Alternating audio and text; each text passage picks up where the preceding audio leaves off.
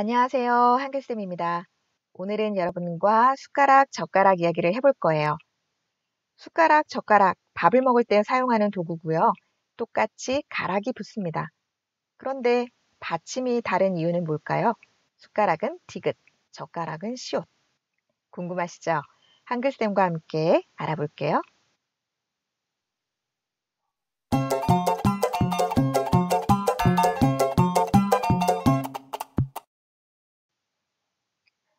숟가락은 술과 가락이 합쳐진 말이에요. 자, 술은 어, 예전에 숟가락의 의미로 사용되던 그런 단어입니다. 지금은 우리가 한 술 떠먹어라, 뭐 몇 술 좀더 어, 드시죠? 이럴 때 사용을 하고 있죠. 젓가락은 저 플러스 가락, 나무 저 할 때 저, 저가 이제 젓가락을 의미하는데요. 저에 가락이 붙어서 만들어진 단어예요. 그럼 먼저 젓가락부터 볼게요. 이와 비슷한 단어들이 있는데요. 보시면 공통점을 찾으셨나요? 네.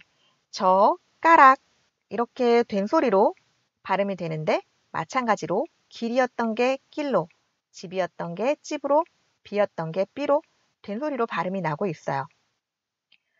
그러면서 여기에 뭐가 들어가나요? 시옷 받침, 등굣길, 전셋집, 장맛비, 시옷 받침이 들어가고 있습니다. 이런 거를 사이 시옷 현상이라고 하고요. 여기에 들어가는 시옷을 사이 시옷이라고 이야기를 합니다. 자, 명사랑 명사가 만났을 때요. 뒤에 오는 명사가 된소리로 발음이 되는 경우가 있어요. 이 된소리는 이 시옷 때문에 시옷 때문에 난다고 보고 있거든요. 그래서 이 시옷을 사이 시옷이라고 보고 있고 이러한 현상을 사이 시옷 현상이라고 이야기를 합니다. 자, 우리는 이 사이시옷인지 사이시옷 현상인지 이거를 기억하실 필요는 없고요. 젓가락이 저하고 가락이 만나서 여기에 시옷 받침이 사이시옷 때문에 생긴 거다라고 이해를 하시면 돼요. 이거는 전혀 문제가 없습니다. 자, 그러면 숟가락은 어떨까요? 아까 술에 가락이 붙은 거라고 말씀을 드렸는데 이와 비슷한 예를 보시면요.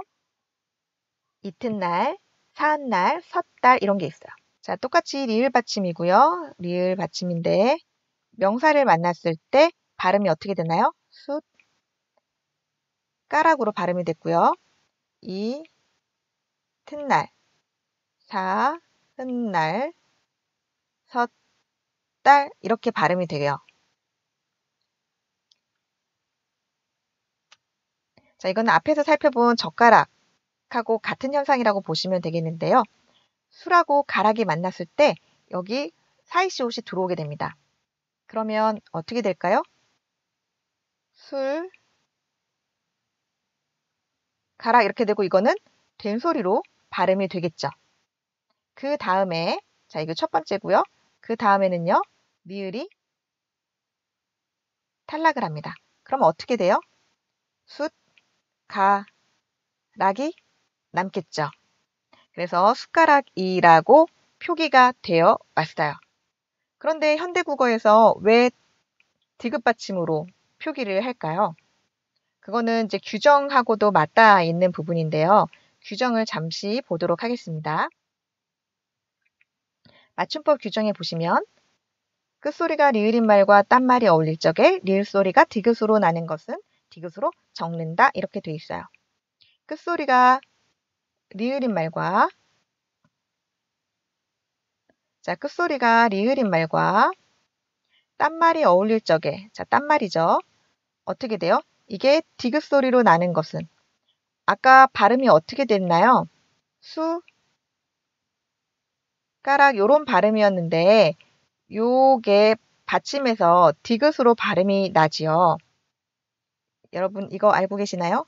빛, 빛, 빛.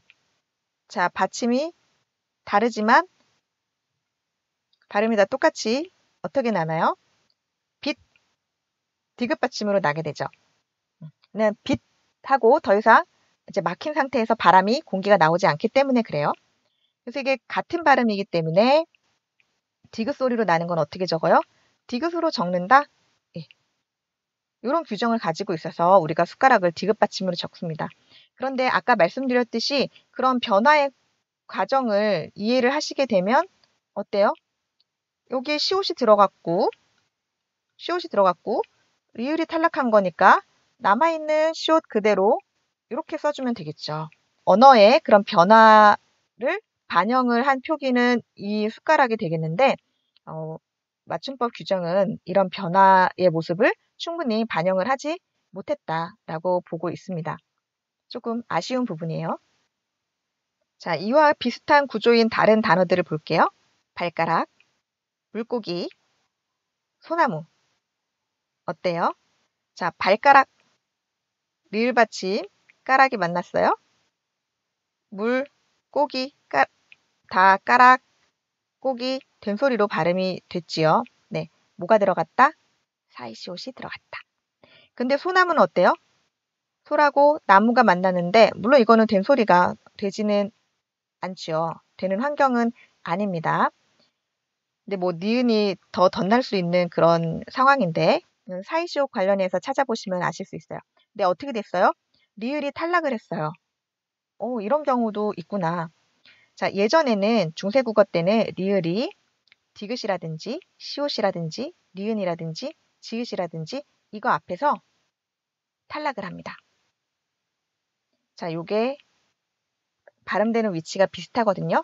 요런 자음 앞에서는 리을이 탈락을 하는 그런 현상이 있었어요. 그래서 소나무는 지금은 이렇게 탈락할 이유가 없지만 예전에 만들어진 단어이기 때문에 솔, 나무의 리을 받침이 탈락을 해서 소나무 이렇게 만들어졌습니다.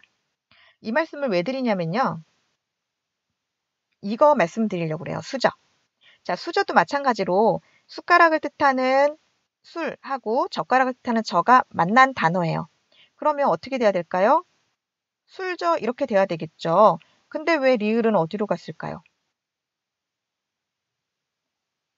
소나무를 보시면 알 수가 있습니다. 아까 뭐라고요?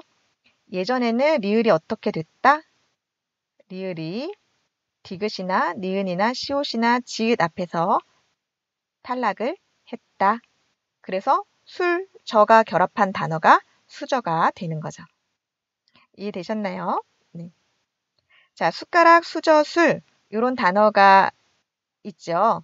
자, 지금까지 살펴본 단어인데요. 자, 숟가락은 이렇게 생긴 밥 먹을 때 쓰는 도구를 말하고요. 수저는 숟가락을 의미하기도 하고 또는 숟가락과 젓가락을 다 같이 의미를 하기도 해요. 그리고 술은 원래 숟가락을 의미했었지만 지금은 이 숟가락으로 푸는 그런 단위, 양을 의미를 하죠. 근데 그 의미는 숟가락이나 수저도 다 가지고 있어요. 그래서 몇 숟가락, 한두 숟가락, 서너 숟가락, 몇 수저, 한두 수저, 서너 수저, 몇 술, 한두 술, 서너 술 이렇게 쓸 수가 있습니다. 그러나 술은 항상 이 친구다라고 같이 나타나야지만 쓸 수 있는 거죠.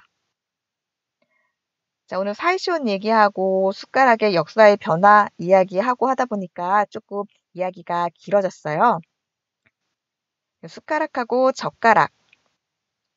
숟가락은 숟가락을 의미하는 술에 가락이 붙은 거고 젓가락은 저의 가락이 붙은 단어이다.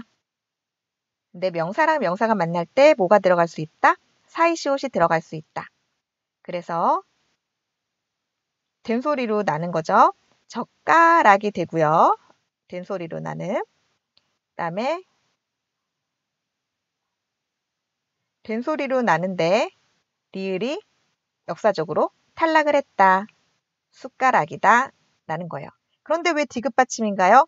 규정에서 한글 맞춤법 규정에서 리을이 디귿으로 소리가 나는 경우에는 디귿으로 적는다라고 규정이 되어 있습니다. 그런데 이 규정은 어떻다?